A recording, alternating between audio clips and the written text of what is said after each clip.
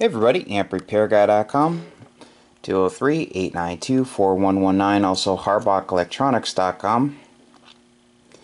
Please like, share, and subscribe. I'd really appreciate it.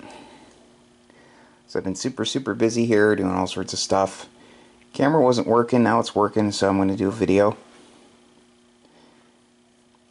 So, another Ameritron AL811 amplifier. Getting a brand new set of Pentalab tubes. Awesome company, awesome customer service. So I'll go over everything that I see so far. Just had a tube flash. Meter protection diode is shorted. I'll add the gas discharge tube to the base of the socket, tube socket. Just one per side of the filament. I'll remove the one off the board.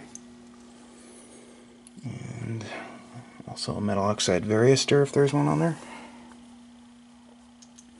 Needs new SO239s. The one on the output side has like no grip. So I always change both. With high quality ones I get from Max Gain Systems, this one isn't as bad. Not 100% great, but the output one has like no grip.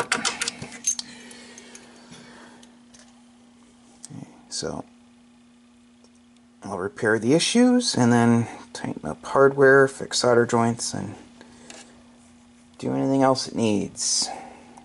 So please stay tuned, and I will see you guys soon.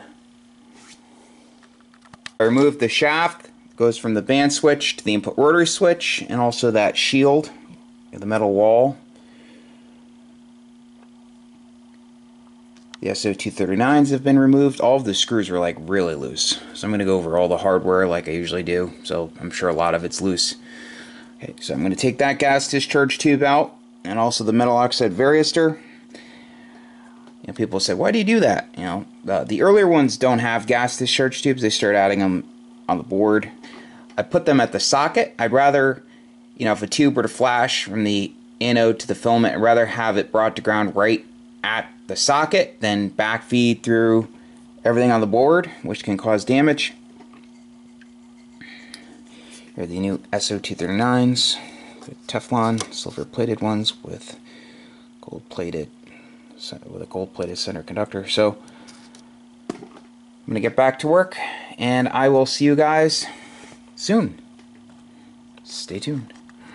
Also, I always zip tie the wiring over here. I was miss I was missing the zip tie, so the wires were all over the place. So just, always attention to detail, very thorough. Let's check this connection right here. Sometimes it's not soldered. Touch up on that. Doesn't look like they soldered it well. Yeah, I'll be back. See you guys soon. Okay, so I'm back with the completed Ameritron AL811. His call sign is on a sticker underneath the electrical tape. I just wanted to cover it up. So I'll go over everything I did. Got a brand new set of Pentalab tubes. There's, the old, there's some screws from another amplifier in here, but here are the old SO239s. Replaced a few of the straps. Uh, actually, two of the straps. The third one was perfect.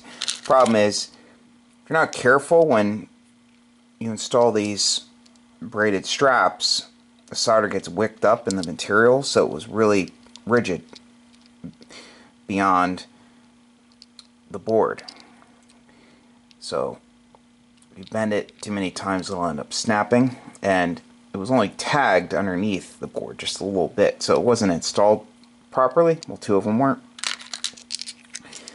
So I took the gas discharge tube off the rear circuit board, added gas discharge tubes, base the socket right there.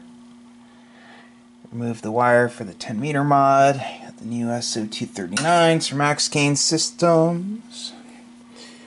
Tighten up on a lot of hardware. There was a lot of hardware that was loose in this. And a couple of the screws were actually really loose that hold the board to the back panel. They screw into the standoffs. So you can see the new straps. So it was like rigid all the way out to here.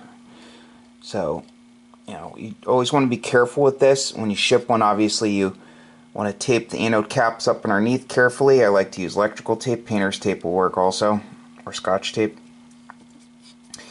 Cut the pieces off and then tape it up. But you never want to have these hanging over the shaft. This is uh, this is like heat shrink. It's like a thin layer of material. Will still end up arcing through. So you never want to turn it on with the straps touching the actual shaft. So change the meter protection diode and clean the rotary switches with DeoxIT Gold so they are all set fix that solder connection over here for the support for the coil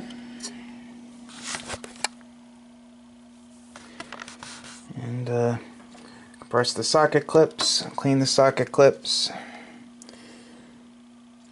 tighten the hardware for the air variable capacitor, for the plate and load.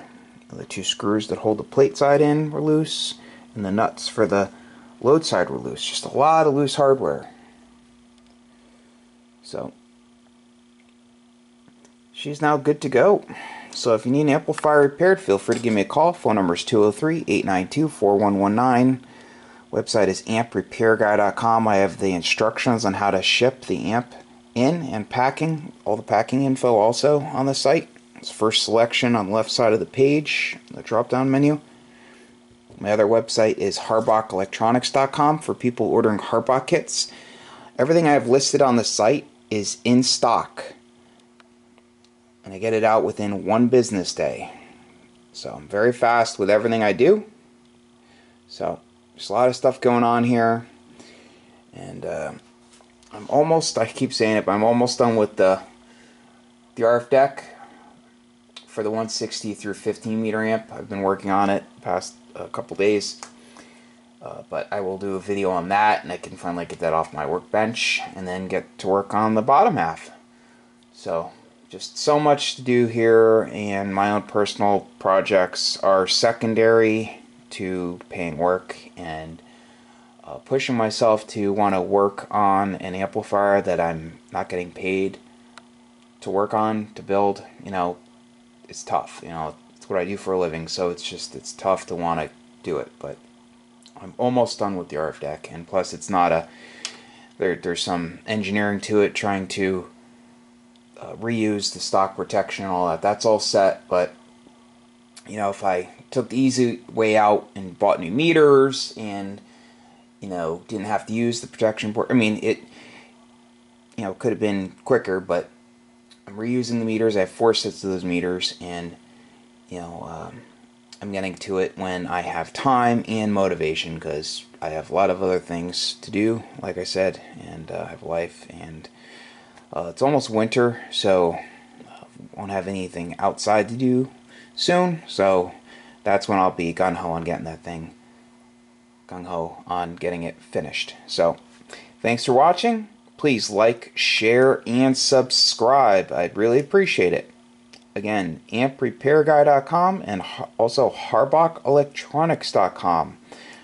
203-892-4119 is the number for the amp repairs. All Harbach orders must be placed through the website. If you're outside the United States, drop me an email to the email address on the Harbach site and we can go over uh, what's needed to do a international transaction. Okay, thanks for watching. Have a great day. 73.